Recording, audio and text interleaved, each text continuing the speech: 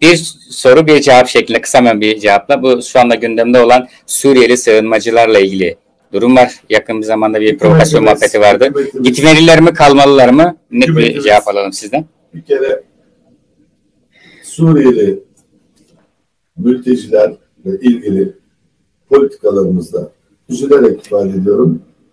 Önemli ölçüde kontrolsüzlük hakimdi. Evet. Yani kontrolsüzlükten kastım ne? İskanlarında kontrol sağlanamadı.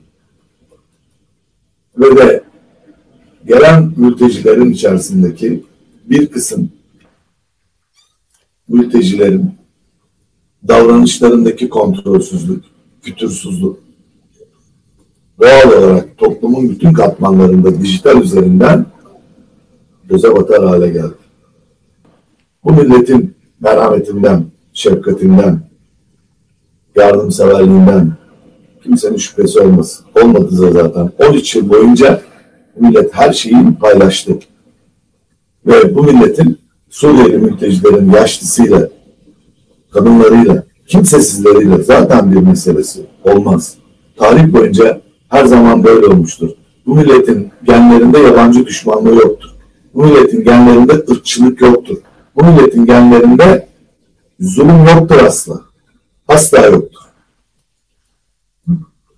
Yani süreci yönetirken bu taraftan yabancı düşmanlığı üzerinden nefrete dayalı, kine dayalı ve şiddete dayalı bir çözüm asla olamaz.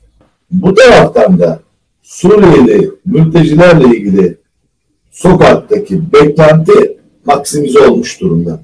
Hükümetimiz bir geri dönüş takvimi milletimizle paylaşmalıdır. Gitmeleri gerektiğini düşünüyorsunuz Şimdi sizler de. çok önemli bir kısmı gidecek zaten. Tamamı gidecek dersek eksik söylemiş oluruz. Çok önemli bir kısmı gidecek. Zaten Suriye'nin kuzeyinde de Türk ordusu onların güvenliğini sağlamaya devam edecek. Türkiye'nin Suriye ile normalleşmesi, Suriye'de hayatın yeniden inşasına inşasına hem Suriye'nin ihtiyacı var hem yanı başımızda huzurlu bir Suriye'ye bizim ihtiyacımız var. Bu ne olacak?